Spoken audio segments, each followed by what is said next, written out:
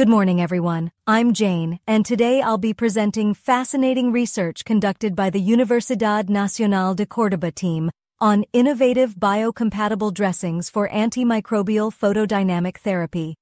This collaborative work spans multiple departments and addresses a critical healthcare challenge. Let's begin with the urgent problem at hand.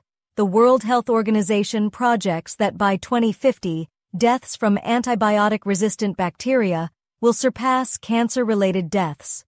This crisis has spurred the development of alternative treatments, particularly antimicrobial photodynamic therapy, or APDT, which shows remarkable promise in various health fields.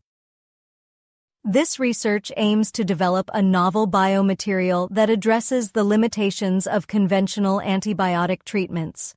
Specifically, the authors focused on creating wound dressings using nanofibrous membranes composed of gelatin and curcumin, produced through electrospinning. This combination leverages curcumin's natural photosensitizing properties with gelatin's biocompatibility. Our methodology centered on four key analyses. First, the electrospinning process to create the nanofibrous membranes. Then, comprehensive characterization through SEM analysis, water contact angle measurements, and crucial cytotoxicity testing to ensure safety and efficacy. The initial results were promising. Here you can see the macroscopic images of our electrospun membranes alongside UV-vis spectroscopy results in DMF. The spectra between 300 and 500 nanometers confirmed the successful curcumin incorporation into the membrane structure. The water contact angle measurements revealed optimal wettability characteristics. As shown in these images, the membrane surfaces demonstrated properties ideal for wound dressing applications, indicating good potential for fluid management in wound care. Scanning electron microscope micrographs revealed impressive structural consistency. The membranes showed smooth surfaces with homogeneous fiber distribution. Statistical analysis demonstrated significant differences in fiber diameter between non-cross-linked and cross-linked membranes. Critical to our research was the cell viability testing.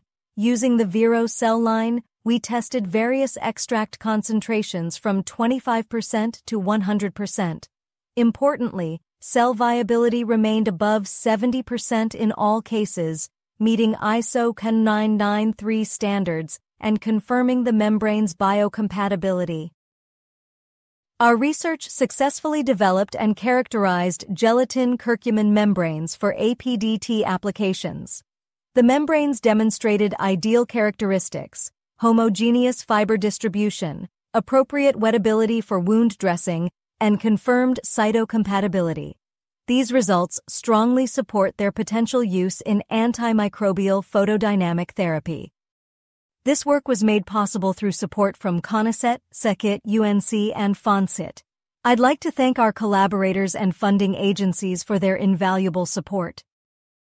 The references can be consulted in the abstract.